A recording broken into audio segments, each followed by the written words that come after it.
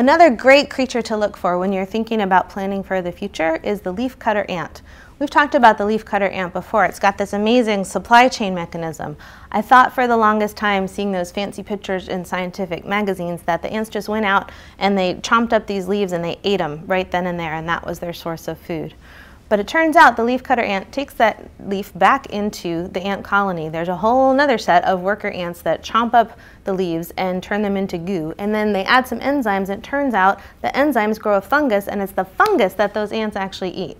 So they are not just procuring and consuming. They're procuring and then creating this huge internal source of supply that doesn't just help them today or tomorrow, it helps them far into the future. And it doesn't just help one ant, it helps the entire colony.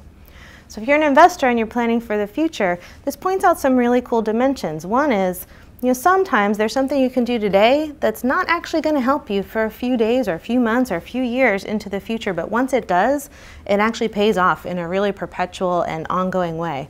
That's pretty cool.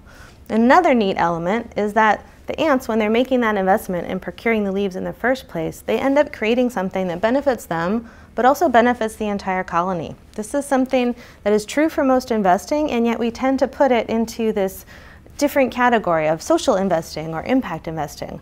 All investing has this combination of individual benefit and collective benefit. It also has elements of individual cost and collective cost. Looking to the ants, I think, helps make these questions more tangible and more easy to consider as investors. We'd be wise to do so.